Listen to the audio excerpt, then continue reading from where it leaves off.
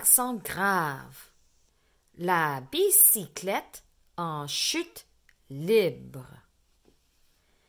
L'ami E est fier de son exploit. Une fois rendu en haut de la montagne, il s'arrête pour se reposer avant de descendre.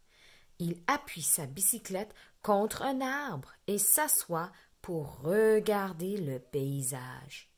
Mais il vent fort au sommet de la montagne, tellement fort que le rebord de sa casquette se plie vers l'arrière. Soudain, un bruit. C'est sa bicyclette mal stationnée qui se met à rouler toute seule vers le bas de la montagne. Et ma bicyclette.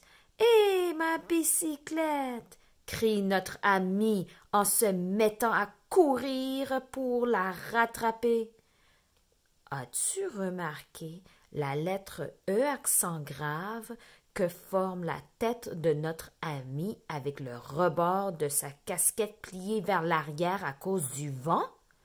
Quand tu verras cette lettre, rappelle-toi notre ami qui descend la côte de la montagne en criant Hé, ma bicyclette!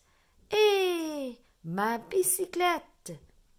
La lettre E, accent grave, fait le son Eh.